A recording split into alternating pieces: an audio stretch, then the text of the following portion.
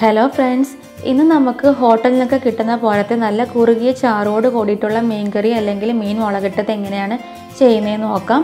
അപ്പം വീഡിയോയിലോട്ട് പോകുന്നതിന് മുന്നായിട്ട് നിങ്ങൾ എന്റെ ചാനൽ ഇതുവരെ സബ്സ്ക്രൈബ് ചെയ്തിട്ടില്ല എന്നുണ്ടെങ്കിൽ പ്ലീസ് സബ്സ്ക്രൈബ് ചെയ്യുക. അതോടൊപ്പം തൊട്ടടുത്തുള്ള ബെല്ലൈക്കൺ കൂടി പ്രസ് ചെയ്തിട്ട് ഓൾ എന്നുള്ള ഓപ്ഷന്റെ ക്ലിക്ക് ചെയ്യുവാണെങ്കിൽ ഞാൻ പുതിയതായിട്ട് അപ്ലോഡ് ചെയ്യുന്ന വീഡിയോസ് നോട്ടിഫിക്കേഷൻ നിങ്ങളുടെ മൊബൈലിൽ കിട്ടുന്നുണ്ട് അപ്പം മറക്കാതെ ചെയ്യാം അപ്പം മീൻ കറി വെക്കാൻ വേണ്ടിയിട്ട് ഞാൻ നെമ്മീനാട്ടോ എടുത്തിരുന്നത്. കുറച്ച് വലിയ പീസായിട്ട് ഇതുപോലെ കട്ട് ചെയ്ത് എടുത്തിട്ടുണ്ട്.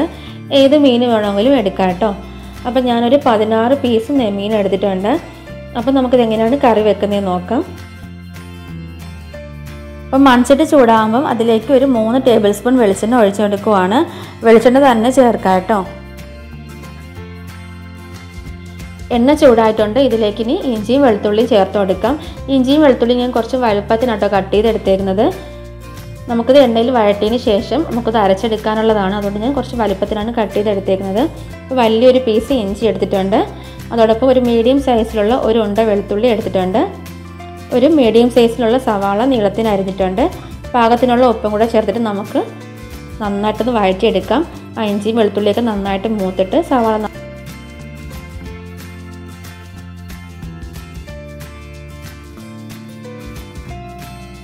അപ്പോൾ ഇഞ്ചിയും വെളുത്തുള്ളിയൊക്കെ മൂത്തിട്ട് സവാള നന്നായിട്ട് വാടി വന്നിട്ടുണ്ട്. ഇതിലേക്ക് നമുക്കിനി പൊടികളെല്ലാം ചേർത്ത് കൊടുക്കാം. അര ടീസ്പൂൺ മഞ്ഞൾപ്പൊടി ഒരു ടീസ്പൂൺ മല്ലിപ്പൊടി മൂന്നര ടീസ്പൂൺ മുളക് പൊടി ഇട്ടോ ചേർത്ത് കൊടുക്കുന്നത്. ഞാനിവിടെ കാശ്മീരി റെഡ് ചില്ലി പൗഡറാണ് യൂസ് ചെയ്തേക്കുന്നത്. സാധാ എരിവുള്ള മുളക് പൊടിയാണെങ്കിൽ നിങ്ങളുടെ എരിവിനനുസരിച്ചിട്ട് ചേർത്ത് കൊടുക്കാം. അപ്പോൾ ഞാനൊരു മൂന്നര ടീസ്പൂൺ മുളക് പൊടി ചേർത്ത് കൊടുത്തിട്ടുണ്ട്. ഇനി ഈ പൊടികളുടെ എല്ലാം ഒരു പച്ചമണം മാറുന്നവരെ നന്നായിട്ടൊന്ന് വഴറ്റിയെടുക്കാം. ആ എണ്ണയിലിട്ട് നന്നായിട്ടൊന്ന് വഴറ്റിയെടുക്കാം കേട്ടോ. എന്നാലേ നമ്മുടെ കറിക്ക് നല്ലൊരു ടേസ്റ്റ് കിട്ടത്തുള്ളൂ. ആ പൊടികളുടെ ആ ഒരു പച്ചക്കുത്ത് മാറുന്നവരെ നന്നായിട്ട് ഇതുപോലെ ഒന്ന് വഴറ്റിയെടുക്കാം.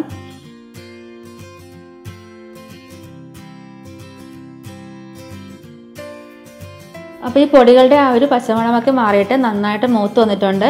ഇതിലേക്ക് ഞാനൊരു വലിയ പഴുത്ത തക്കാളി ചേർത്ത് കൊടുക്കുവാണ് ചെറിയ തക്കാളി ആണെന്നുണ്ടെങ്കിൽ രണ്ട് തക്കാളി വരെ എടുക്കാം കേട്ടോ ഇനി ഇത് ജസ്റ്റ് ഒന്ന് വഴറ്റിയിട്ട് നമുക്കിത് മൂടി വെച്ചിട്ട് ലോ ഫ്ലെയിമിൽ ഈ തക്കാളി നന്നായിട്ടൊന്ന് വേവിച്ചെടുക്കാം. ഈ തക്കാളി നന്നായിട്ട് വെന്തുടഞ്ഞ് വരുന്നവരെ നമുക്കൊന്ന് വേവിച്ചെടുക്കാം. അപ്പോഴാണ് നമ്മുടെ കറിക്ക് നല്ലൊരു ടേസ്റ്റ് കിട്ടുന്നത്. അപ്പോൾ നമുക്കിത് മൂടി വെച്ചിട്ട് തക്കാളി നന്നായിട്ടൊന്ന് വേവിച്ചെടുക്കാം. ഇടയ്ക്കിടയ്ക്കൊന്ന് ഇളക്കി കൊടുക്കണം കേട്ടോ.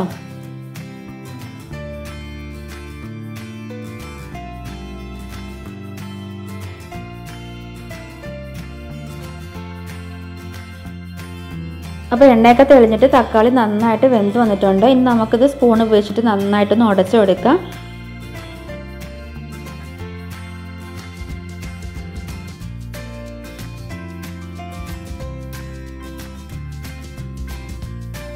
അപ്പോൾ നമുക്കിനി ഫ്ലെയിം ഓഫ് ചെയ്യാം.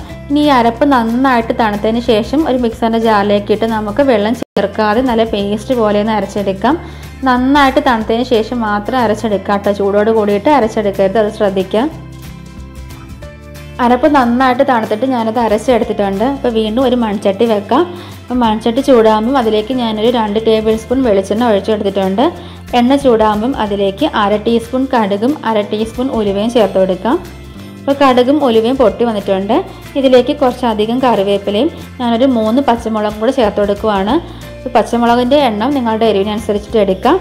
ഈ കറിവേപ്പിലയും പച്ചമുളകും ഒന്ന് മൂപ്പിച്ചെടുക്കാം. ഈ കടുകും ഉലുവയും കരിഞ്ഞു പകർത്തിട്ട് അത് ശ്രദ്ധിക്കാം. എങ്കിൽ നമ്മുടെ കറിക്ക് ഒരു കയ്പ് ടേസ്റ്റ് ഉണ്ടാവും കേട്ടോ. ഈ പച്ചമുളകും കറിവേപ്പിലയും ഒന്ന് നമുക്കൊന്ന് മൂപ്പിച്ചെടുക്കാം. ഇനി നമുക്ക് നമ്മൾ അരച്ച് വെച്ചേക്കുന്ന അരപ്പ് ചേർത്ത് കൊടുക്കാം. ഇതുപോലെ നല്ല പേസ്റ്റായിട്ട് അരച്ചെടുക്കാം കേട്ടോ. നമുക്കിത് എണ്ണയിലേക്ക് ഇട്ട് കൊടുക്കാം.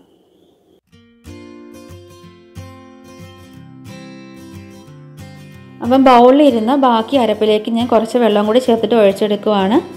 ഇത് ജസ്റ്റ് ഒന്ന് വഴറ്റി കൊടുക്കാം. ഇനി നമുക്ക് പുളി ചേർത്ത് കൊടുക്കാം. അപ്പം ഞാനൊരു മൂന്ന് പീസ് കുടംപുളി നന്നായിട്ട് കഴുകിയിട്ട് കുറച്ച് വെള്ളത്തിലിട്ട് വെച്ചിട്ടുണ്ടായിരുന്നു. അത് നമുക്ക് ഇതിലേക്ക് ചേർത്തിട്ട് നന്നായിട്ടൊന്ന് മിക്സ് ചെയ്ത് കൊടുക്കാം.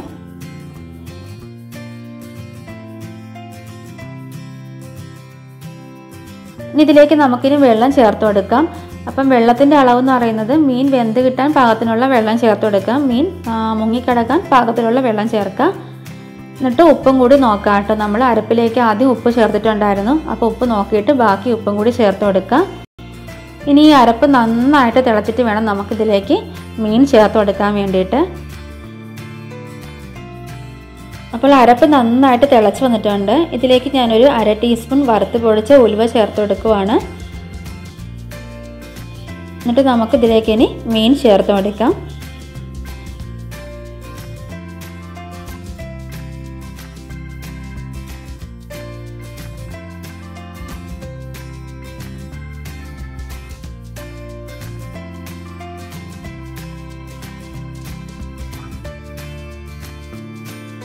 മീൻ ഇട്ടതിന് ശേഷം ഇതുപോലെ സ്പൂൺ കൊണ്ട് പതുക്കി ഒന്ന് ഇളക്കി കൊടുക്കാം. എന്നിട്ട് നമുക്കിത് മൂടി വെച്ചിട്ട് ലോ ഫ്ലെയിമിൽ ഒരു രണ്ട് മിനിറ്റ് വരെ നമുക്ക് ഈ കറി ഒന്ന് വേവിച്ചെടുക്കാം. രണ്ട് മിനിറ്റ് കഴിയുമ്പോൾ നമുക്കിത് ലോ ഫ്ലെയിമിൽ തുറന്ന് വെച്ചിട്ട് ബാക്കി വേവിച്ചെടുക്കണം കേട്ടോ. അപ്പോൾ നമ്മളിത് മൂടി വെച്ചിട്ട് ഒരു രണ്ട് മിനിറ്റ് കഴിഞ്ഞിട്ടുണ്ട്. ഇനി നമുക്കിത് തുറന്ന് വെച്ചിട്ട് ലോ ഫ്ലെയിമിൽ നമുക്ക് ഈ കറി ബാക്കി നന്നായിട്ടൊന്ന് വേവിച്ചെടുക്കാം. അപ്പം മീനൊക്കെ വെന്തിട്ട് എണ്ണയൊക്കെ തെളിഞ്ഞ് വന്നിട്ടുണ്ട്. ഈ മീൻകറിയുടെ ചാറൊന്ന് കുറുകി വന്നിട്ടുണ്ട്. അപ്പോൾ ഇത് തണുത്ത് കഴിയുമ്പോൾ ഒന്നും കൂടി ഇതിന്റെ ചാറൊന്ന് കുറുകും കേട്ടോ. അപ്പോൾ ലാസ്റ്റ് ഇതിലേക്ക് നമുക്ക് കുറച്ച് കറിവേപ്പിലയും കുറച്ച് പച്ച വെളിച്ചെണ്ണയും കൂടെ ചേർത്തിട്ട് നമുക്ക് ഫ്ലെയിം ഓഫ് ചെയ്യാം കേട്ടോ. കുറച്ച് ഏറെ കറിവേപ്പിലയും ഒരു ടീസ്പൂൺ പച്ച വെളിച്ചെണ്ണയും കൂടെ ചേർത്തിട്ട് നമുക്ക് ഫ്ലെയിം ഓഫ് ചെയ്യാം. അപ്പോൾ നമ്മുടെ മീൻ കറി റെഡി ആയിട്ടുണ്ട്. ഒരു അടിപൊളി മീൻ കറിയാണ് കേട്ടോ. അപ്പോൾ എല്ലാവരും ഒന്ന് ട്രൈ ചെയ്ത് നോക്കിയിട്ട് നിങ്ങളുടെ അഭിപ്രായം താഴെ കമന്റ് ബോക്സിൽ പറയാം. അപ്പോൾ നിങ്ങൾക്ക് ഈ വീഡിയോ ഇഷ്ടമായിട്ടുണ്ടെങ്കിൽ മറക്കാതെ ലൈക്ക് ചെയ്യുക. ലൈക്ക് ചെയ്യുന്നവർ താഴെ കമന്റ് ബോക്സിൽ ഒന്ന് കമന്റ് ചെയ്യുക കേട്ടോ. അതോടൊപ്പം ഈ വീഡിയോ നിങ്ങളൊന്ന് ഷെയർ ചെയ്യുക. അപ്പോൾ ആദ്യമായിട്ട് എന്റെ വീഡിയോ കാണുന്നവരാണെന്നുണ്ടെങ്കിൽ എന്റെ ചാനൽ സബ്സ്ക്രൈബ് ചെയ്യുവാനും തൊട്ടടുത്തുള്ള ബെല്ലൈക്കൺ കൂടി പ്രസ് ചെയ്തിട്ട് ഓൾ എന്നുള്ള ഓപ്ഷനോടെ ക്ലിക്ക് ചെയ്യാൻ മറക്കരുത് കേട്ടോ.